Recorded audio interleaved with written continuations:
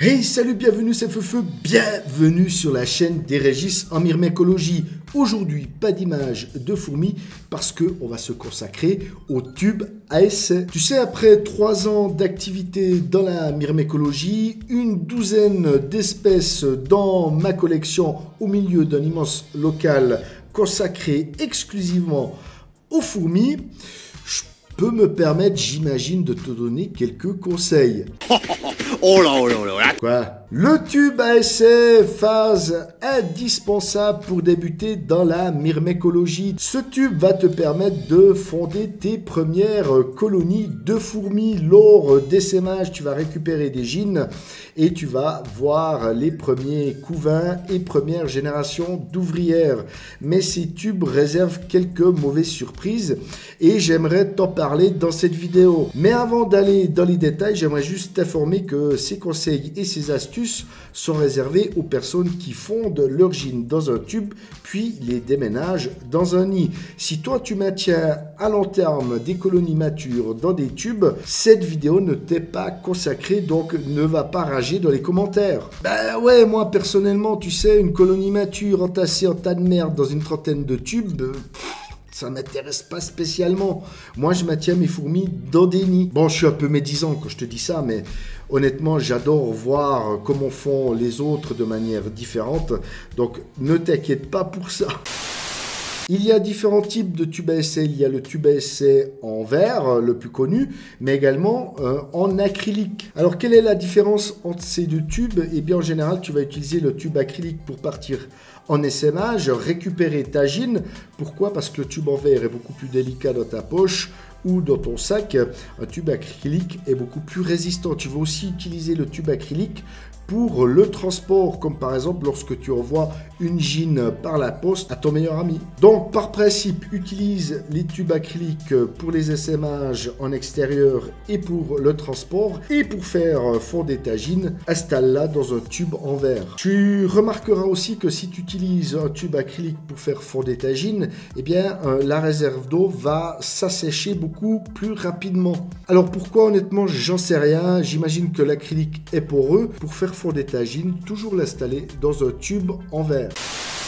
Il existe aussi différents diamètres de tubes. Tu as les 20 mm, ici les 16 et au milieu tu as les 18. C'est pas les seuls diamètres que tu vas pouvoir trouver, mais c'est les plus courants dans la myrmécologie. Alors pourquoi différents diamètres Eh bien les grosses espèces de Coponotus par exemple, tu vas plutôt euh, préférer un tube de 20 mm et les micro espèces comme euh, les Fedol par exemple utilisent plutôt un tube de 16.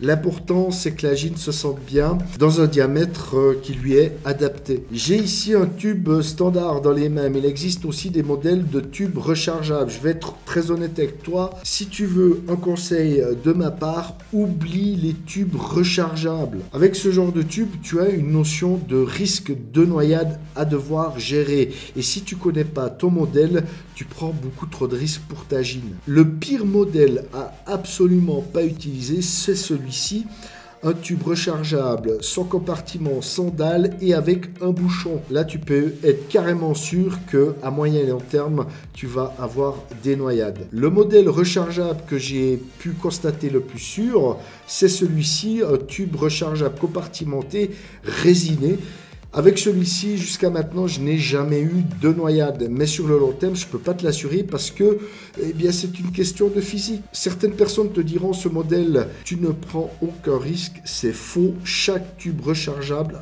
a une notion de risque. Et si tu ne le maîtrises pas, tu pars à la catastrophe. Conseil de feu-feu, tube rechargeable, tu oublies. Est-ce qu'il est préférable d'utiliser un tube avec une dalle? Est-ce qu'il est préférable d'utiliser un tube compartimenté ou carrément les deux, compartimenté, dallé? Eh bien, je vais être très clair avec toi. Utilise un tube tout simple. Si tu mets une dalle dans la zone de vie, ça sert absolument à rien. On va voir euh, un peu plus tard pourquoi. Et puis au niveau des compartiments, eh bien si tu as un tube compartimenté, tu vas rendre difficile ton déménagement, donc tu te tires une balle dans le pied. Donc effectivement, sur le marché, il y a des tubes magnifiques, compartimentés d'aller. C'est toujours un plaisir de pouvoir se les offrir. Malheureusement, eh bien, tu te compliques la vie avec ce genre de tube. Tu as donc euh, récupéré ta première gine, tu l'as installée dans un tube à essai et en général ton tube à essai va ressembler à ceci. Pourquoi? Parce que tu vas faire comme la majorité des gens, tu vas recopier la manière de faire. Or, tu auras fait déjà ta première erreur. Tu as ta réserve d'eau, tu as ton coton humidifié qui va donner le taux d'hygrométrie de la zone de vie et tu vas fermer ton tube à essai avec le coton. Tu me diras, mais c'est comme ça qu'on fait, feu feu. Sauf que, eh bien, ta réserve d'eau est beaucoup trop petite. Tu t'apercevras qu'au bout de un ou deux mois, ta réserve d'eau sera asséchée et ta gine n'aura pas réussi à fonder complètement sa première génération d'ouvrières pour faire un premier déménagement en nid. Et donc, te voilà avec une gine, du couvain, peut-être quelques ouvrières et une réserve d'eau totalement vide. La méthode que je te conseille est la façon suivante. Tu vas faire une immense réserve d'eau. Tu vas utiliser les trois quarts de la longueur du tube et tu vas utiliser une toute petite zone de vie vers l'extrémité du tube.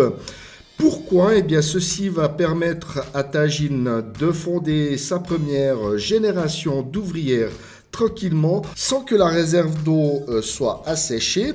Et une fois que la zone de vie est remplie eh bien tu pourras très facilement faire ton premier déménagement avec ce genre de physionomie de tube. Ici tu fais une réserve d'eau à la moitié du tube une zone de vie sur l'autre moitié. Et puisque tu as mis ta gine à l'extrémité de ton premier tube il sera beaucoup plus facile de la faire déménager pour qu'elle puisse continuer à faire la fondation de sa colonie. Une fois qu'elle aura pris le temps de remplir la zone de vie, que la réserve d'eau commence à s'assécher, il te sera beaucoup plus facile de déménager en nid avec l'aide de nombreuses ouvrières. J'ai fait le tour des astuces et des informations que je voulais te donner euh, dans cette vidéo concernant les tubes à essai. J'espère que le sujet t'aura intéressé que tu auras appris quelque chose au passage. Ne t'inquiète pas si tu fais totalement différent de moi et que ça fonctionne chez toi. Surtout, ne change pas ta manière de faire. Ce que je t'ai montré en vidéo, c'est mon expérience et ce qui fonctionne, mais c'est pas la seule manière de faire. Pour toi bien, plein de bonnes choses pour tes colonies et à tout bientôt sur la chaîne. Ciao ciao